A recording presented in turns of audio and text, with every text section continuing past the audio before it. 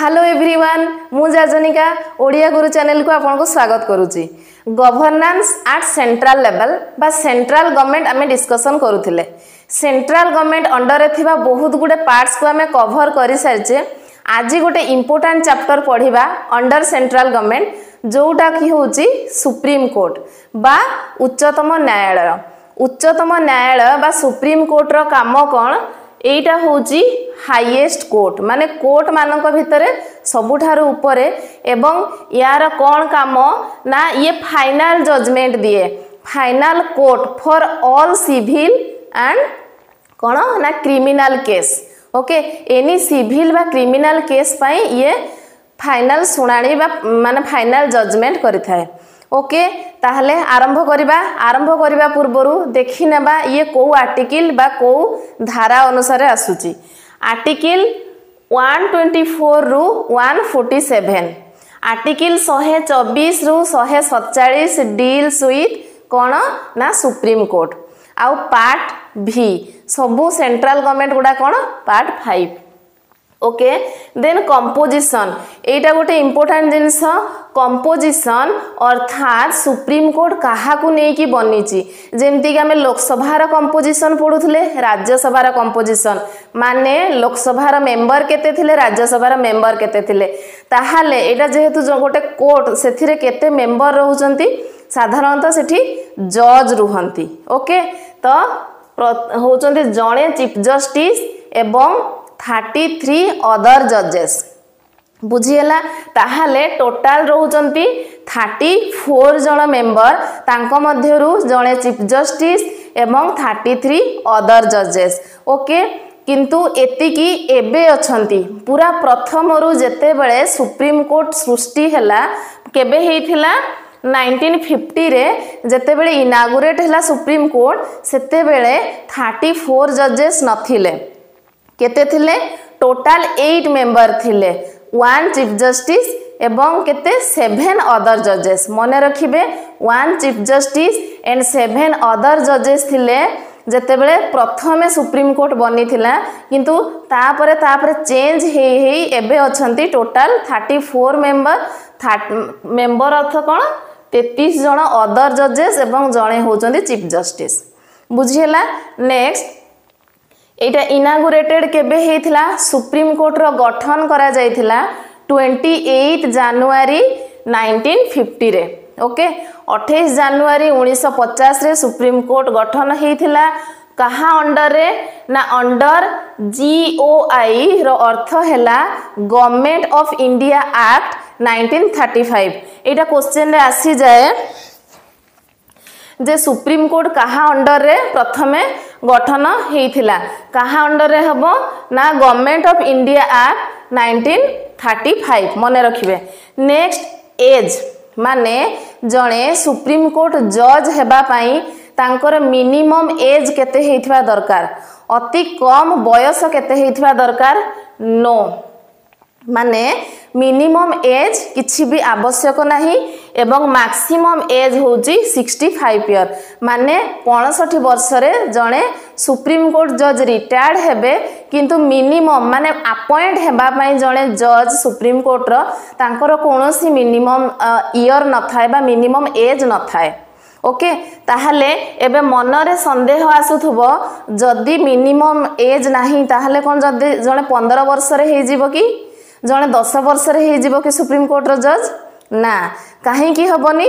ପରେ ଆସିବ ଆମେ ବୁଝିପାରିବା ଓକେ ନେକ୍ସଟ ଆସିବ ଦେଖ ତାପରେ କ୍ୱାଲିଫିକେସନ୍ ହେଉଛି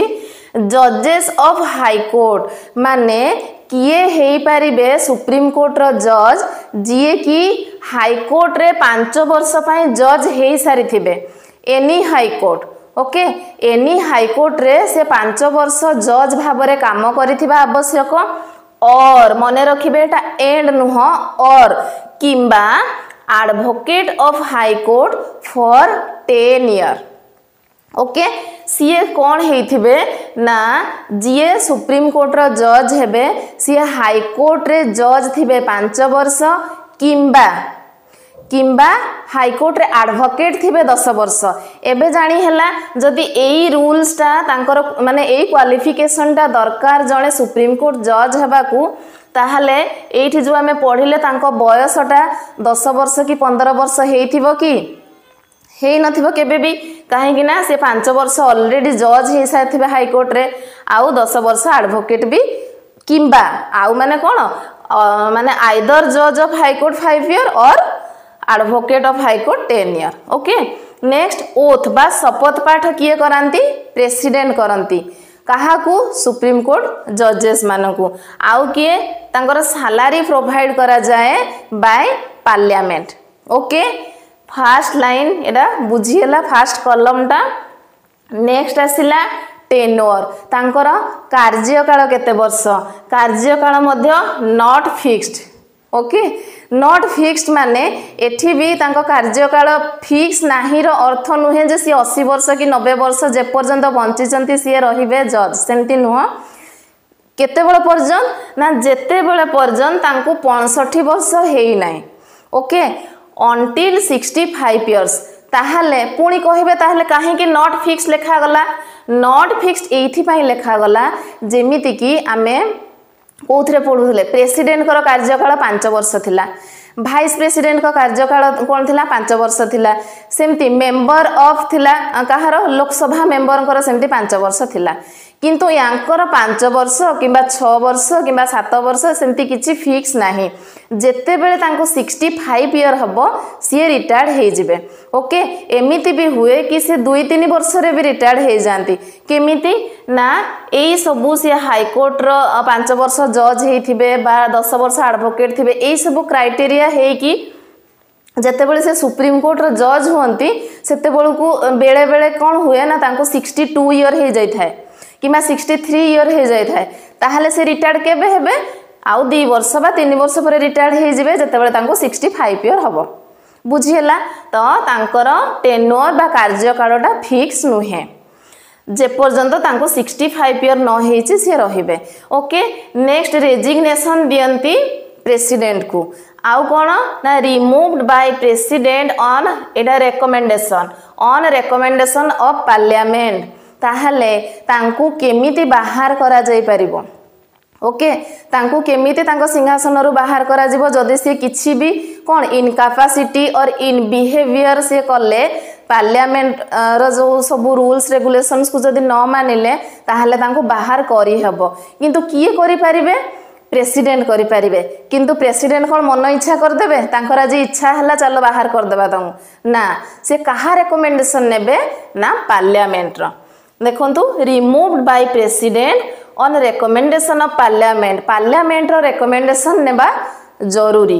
ତାପରେ ଆସିବ ତାଙ୍କର ଆପଏଣ୍ଟମେଣ୍ଟ ଆପଏଣ୍ଟମେଣ୍ଟ ମାନେ ତାଙ୍କ ନିଯୁକ୍ତି କେମିତି ହେଇଥାଏ ସୁପ୍ରିମକୋର୍ଟ ଜଜ୍ଙ୍କର ନିଯୁକ୍ତି ପ୍ରଥମେ ହେଲା ଚିଫ୍ ଜଷ୍ଟିସ୍ଙ୍କର ନିଯୁକ୍ତି କିଏ କରିଥାନ୍ତି ଚିଫ୍ ଜଷ୍ଟିସ୍କୁ ଆପଏଣ୍ଟ କରିଥାନ୍ତି ପ୍ରେସିଡେଣ୍ଟ ଏବଂ ଅଦର ଜଜେସ୍ ମାନଙ୍କୁ ବି ଆପଏଣ୍ଟ କରିଥାନ୍ତି ସେଇ ପ୍ରେସିଡେଣ୍ଟ ओके आउ सी करती consultation of chief justice is obligatory okay तो सी जितेबले चिफ जस्टिस माने अदर जजेस मानू जितेबल सी प्रेसिडेंट अपॉइंट करुँच सी कौन करेंगे ना चीफ जस्टिस निहाती भाव में कनसल्टेसन ने क्या जितेबले जजेस मानक अपॉइंट कर बुझीगला next other ଜଜେସ୍ of supreme court and high court ଆଉ କାହାର କନସଲଟେସନ୍ ନେଇଥାନ୍ତି ନା ହାଇକୋର୍ଟ ଏବଂ ସୁପ୍ରିମକୋର୍ଟର ଅଦର ଜଜ୍ ଯେଉଁମାନେ ରହିଲେ ତାଙ୍କର ମଧ୍ୟ ନେଇଥାନ୍ତି ମନେ ରଖିବେ ଯେତେବେଳେ ଚିଫ୍ ଜଷ୍ଟିସଙ୍କର ଆପଏଣ୍ଟ ହୁଏ ସେତେବେଳକୁ ତାଙ୍କୁ ନିଯୁକ୍ତି ଦେଇଥାନ୍ତି ପ୍ରେସିଡେଣ୍ଟ ଯେତେବେଳକୁ ଅଦର ଜଜେସ୍ ମାନଙ୍କର ଆପଏଣ୍ଟମେଣ୍ଟ ହେଇଥାଏ ତାଙ୍କୁ ବି ପ୍ରେସିଡେଣ୍ଟ ହିଁ ନିଯୁକ୍ତି ଦିଅନ୍ତି କିନ୍ତୁ ସିଏ କାହାର ନେଇଥାନ୍ତି ରେକମେଣ୍ଡେସନ୍ ସିଏ କାହାର କନସଲଟେସନ ନେଇଥାନ୍ତି ନା ଚିଫ୍ ଜଷ୍ଟିସଙ୍କର କେବଳ ଚିଫ୍ ଜଷ୍ଟିସଙ୍କର ନୁହେଁ ହାଇକୋର୍ଟଙ୍କର ଯିଏ ବା ସୁପ୍ରିମକୋର୍ଟର ଯିଏ ଅଦର ଜଜେସ୍ ଅଛନ୍ତି ଦରକାର ପଡ଼ିଲେ ସବୁବେଳେ ନୁହଁ ଆବଶ୍ୟକ ପଡ଼ିଲେ ତାଙ୍କର ବି ସେ ରେକମେଣ୍ଡେସନ ନେଇପାରନ୍ତି ଓକେ ନେକ୍ସଟ ଦେଖିବା ନାଇଣ୍ଟିନ ଫିଫ୍ଟି ଏବଂ ସେଭେଣ୍ଟି ଥ୍ରୀରେ କ'ଣ ଗୋଟେ ହେଇଥିଲା କ'ଣ ଗୋଟେ ଇମ୍ପୋର୍ଟାଣ୍ଟ ଜିନିଷ ହେଇଛି କ'ଣ ହେଇଥିଲା ନା ସିନିୟର ମୋଷ୍ଟ ଜଜ୍ of supreme court appointed as chief justice ତାହେଲେ ସବୁ ଜଜେସ୍ ରହିଲେ ଯେମିତିକି ଆମେ ଦେଖିଲେ ଥାର୍ଟି ଥ୍ରୀ ଅଦର ଜଜେସ୍ ଅଛନ୍ତି ଯଦି ଟୋଟାଲ୍ ଥାର୍ଟି ଫୋର୍ ଜଜେସ୍ ଆମ ରହିଲେ ତାଙ୍କ ଭିତରୁ ଚିଫ୍ ଜଷ୍ଟିସ୍ ହେବ କିଏ ନା ଯିଏ ତାଙ୍କ ଭିତରୁ ସବୁଠୁ ବଡ଼ ସିନିୟର ମୋଷ୍ଟ ଜଜ୍ ୱିଲ୍ ବିକମ୍ କ'ଣ ଚିଫ୍ ଜଷ୍ଟିସ୍ ওকে এই রুলটা লা কেবেঠু যেবেঠু সুপ্রিমকোর্ট ইনাগুরেট হয়েছিল ফ্রম নাইনটিন ফিফটি তাহলে কোণ হচ্ছে দেখিবা নাইনটিন ফিফটিরু সেভেন্টি থ্রি ভিতরে এই রুলটা চালিলা মানে যে সিনিয়র জজ লে সি হি সুপ্রিমকোর্ট হোলে আউ তাঁকু প্রেসিডেন্ট আপয়েন্ট করুলে কিন্তু নাইনটিন সেভেন্টি থ্রি মনে রাখবে এটা পড়ে পরীক্ষার କି ନାଇଣ୍ଟିନ୍ ସେଭେଣ୍ଟି ଥ୍ରୀରେ ଏଇଟା ଭାଓଲେଟେଡ଼୍ ହେଇଯାଇଥିଲା ଭାଓଲେଟେଡ଼୍ର ଅର୍ଥ କ'ଣ ଆଉ ସେଇ ରୁଲ୍ସ ରେଗୁଲେସନ୍ସ ମାନି ନଥିଲେ ତାହେଲେ କ'ଣ ହେଇଥିଲା ସେତେବେଳେ A N Ray became chief justice superseding three senior most ଜଜ୍ ତାହେଲେ ଏ ଏନ୍ ରୟ ଜଣେ ଥିଲେ ବ୍ୟକ୍ତି ଯିଏକି ସେଇ ଟାଇମ୍ରେ ନାଇଣ୍ଟିନ୍ ସେଭେଣ୍ଟି ଥ୍ରୀ ଟାଇମ୍ରେ ଚିଫ୍ ଜଷ୍ଟିସ୍ ବନିଯାଇଥିଲେ କିନ୍ତୁ ସିଏ ସିନିୟର ନଥିଲେ ଆମେ ପଢ଼ିଲେ କି ନାଇଣ୍ଟିନ୍ ଫିଫ୍ଟିରୁ ସେଭେଣ୍ଟି ଥ୍ରୀ ଭିତରେ ଏଇସବୁ ହିଁ ଚାଲୁଥିଲା କି ଯିଏ ସିନିୟର ଜଜ୍ ଥିବେ ସିଏ ହିଁ ହେଉଥିଲେ ଚିଫ୍ ଜଷ୍ଟିସ୍ କିନ୍ତୁ ସେଭେଣ୍ଟି ଥ୍ରୀରେ ସେମିତି ହେଇନଥିଲା A N Ray chief justice ବନିଥିଲେ କେତେବେଳେ ଯେତେବେଳେ ତାଙ୍କ ଉପରେ ଆହୁରି ତିନି ଜଣ ସିନିୟର ଜଜ୍ ଥିଲେ ଓକେ ତାଙ୍କ ଉପରେ ତିନି ଜଣ ସିନିୟର ଜଜ୍ ଥିବା ସତ୍ତ୍ୱେ ବି ସିଏ ହେଇଯାଇଥିଲେ କ'ଣ ନା ଚିଫ୍ ଜଷ୍ଟିସ୍ ଏଇଟା କାହା ଟାଇମ୍ରେ ହେଇଥିଲା ଇନ୍ଦିରା ଗାନ୍ଧୀଙ୍କ ଟାଇମ୍ ପିରିୟଡ଼ରେ ହେଇଥିଲା ଯେତେବେଳେ ଇନ୍ଦିରା ଗାନ୍ଧୀ ଥିଲେ prime minister then nineteen seventy seven nineteen seventy ସେଭେନ୍ରେ ଆଉ ଥରେ ହେଇଥିଲା କ'ଣ ନା ଏମ୍ ୟୁ ବେଗ୍ ଜଣେ ଲୋକ ଯିଏକି became chief justice superseding H R Khanna okay ତ ନାଇନଟିନ୍ ସେଭେଣ୍ଟି ସେଭେନ୍ରେ ସେମିତି ଏମ୍ ୟୁ ବେଗ୍ ନାମକ ଜଣେ ବ୍ୟକ୍ତି ମଧ୍ୟ ଚିଫ୍ ଜଷ୍ଟିସ୍ ବନିଥିଲେ କିନ୍ତୁ ତାଙ୍କ ଉପରେ ଆଉ ଜଣେ ସିନିୟର ଜଜ୍ ଥିଲେ ଯିଏକି ଏଚ୍ ଆର୍ ଖାନ୍ନା ଓକେ ନିୟମ ଅନୁଯାୟୀ ଏଚ୍ ଆର୍ ଖାନ୍ନା ସିନିୟର ଥିବାରୁ ସିଏ ଚିଫ୍ ଜଷ୍ଟିସ୍ ହେଇଥାନ୍ତେ କିନ୍ତୁ ସିଏ ନ ହେଇକି କିଏ ହେଇଥିଲେ ଏମ୍ୟୁ ବେଗ୍ ହେଇଥିଲେ ଓକେ ଏଇ ଥିଲା ଦୁଇଟା ଭାଓଲେସନ୍ ହେଇଥିଲା ନାଇନଟିନ୍ ସେଭେଣ୍ଟି ଥ୍ରୀରେ ଏବଂ ସେଭେଣ୍ଟି ସେଭେନରେ ଓକେ ତାପରେ ଫାଇନାଲ୍ ଏବଂ ବହୁତ ହିଁ ଇମ୍ପୋର୍ଟାଣ୍ଟ ଜିନିଷ ହେଉଛି କ'ଣ ତାଙ୍କର ରିମୁଭାଲ୍ ପ୍ରୋସିଜିଓର ବାଇ ଆନ୍ ଅର୍ଡ଼ର ଅଫ୍ ପ୍ରେସିଡେଣ୍ଟ ତାହେଲେ ଯେଉଁ ଜଜ୍ ଅଫ୍ ସୁପ୍ରିମକୋର୍ଟ ତାଙ୍କୁ କେମିତି ବାହାର କରାଯାଏ ସୁପ୍ରିମକୋର୍ଟ ଜଜ୍ଙ୍କୁ ବାହାର କରାଯାଏ ବାଇ ଅର୍ଡ଼ର ଅଫ୍ ପ୍ରେସିଡେଣ୍ଟ ଯେତେବେଳେ ପ୍ରେସିଡେଣ୍ଟ ଅର୍ଡ଼ର କରନ୍ତି ଯେ ତାଙ୍କୁ ତାଙ୍କ ସିଂହା ମାନେ ତାଙ୍କର ଯେଉଁ ଅଛି ମାନେ ତାଙ୍କର ଯେଉଁ ପଦବୀ ଅଛି ସେ ଜଜ୍ ହୁଅନ୍ତୁ ବା आम जज को विषय हिं पढ़ुचे नर्माली तो जज को केमी बाहर करती प्रेसीडेट ना पार्लियामेंट को सलाह only after address by parliament parliament को माने मानर कनसल्टेसन नहीं कि प्रेसीडेट कौन करेंगे बाहर करेंगे ओके ताहले ए पार्लियामेंट रे पुणी कौन दरकार पार्लियामेंट रे केते व्यक्ति चाहिए बाहर करें सीटा भी दरकार सेटा हूँ स्पेशल मेजोरीटी दरकार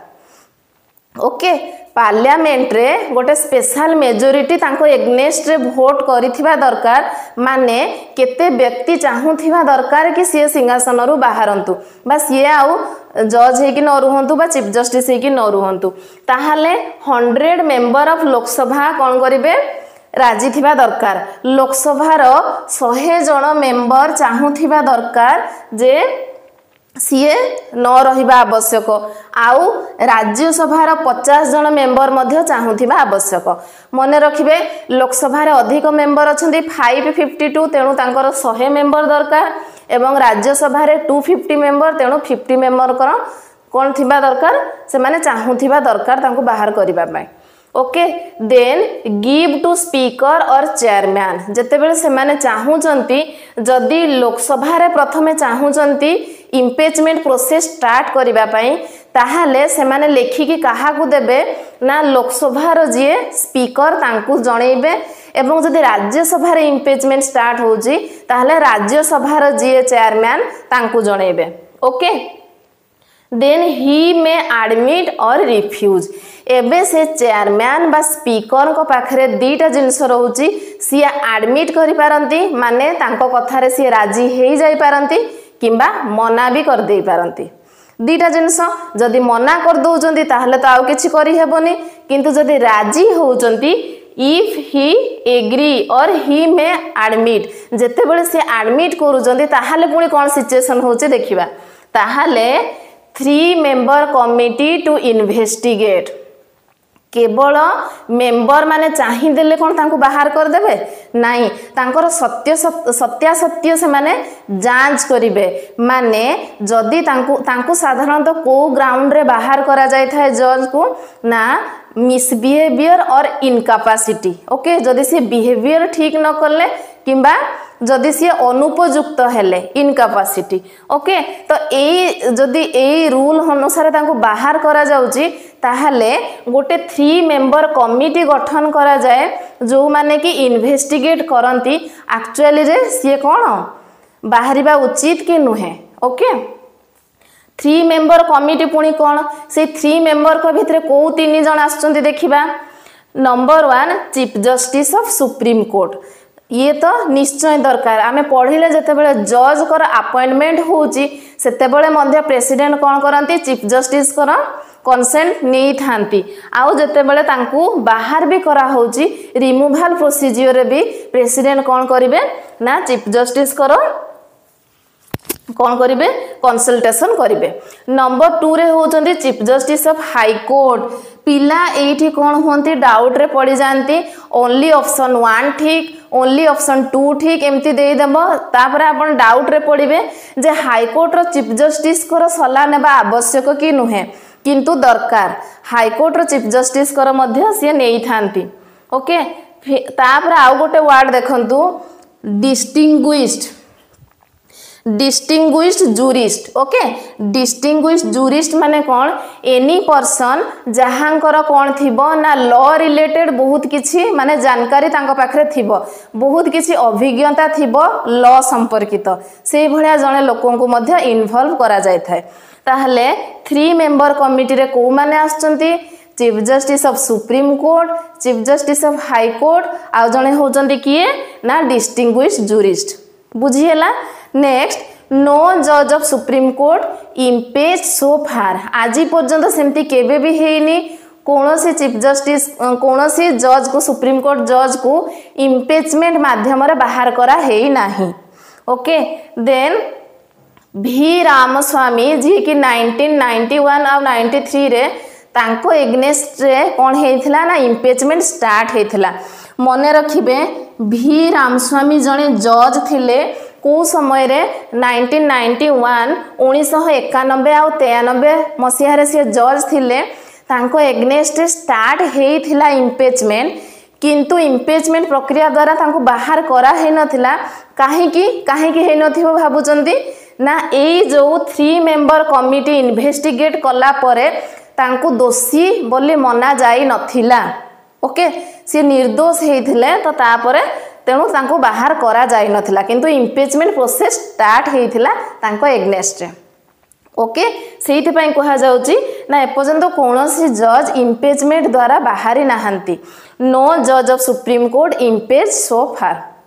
କେମିତି ଲାଗିଲା ଭାବୁଛି ଆଜିର ସୁପ୍ରିମକୋର୍ଟ ଚାପ୍ଟର ଆପଣଙ୍କୁ ଭଲ ଲାଗିଥିବ ଆଉ ଭଲ ଭାବରେ ବୁଝି ମଧ୍ୟ ପାରିଥିବେ ୟାର ଆଉ ଗୋଟେ ସେକେଣ୍ଡ ପାର୍ଟ ଆସିବ ସେଥିରେ ଆମେ ପଢ଼ିବା power and jurisdiction of supreme court আশা করুছি এই ভিডিওটি নিশ্চয় আপনার বেনিফিসিয়াল হয়েছিল যদি ভাল লাগি থাকে গোটে লাইক নিশ্চয় করবে আ চ্যানেল নূয়া থাকলে চ্যানেলকে সবসক্রাইব মধ্যে করে দেবে থ্যাংক ইউ জয় হিন্দ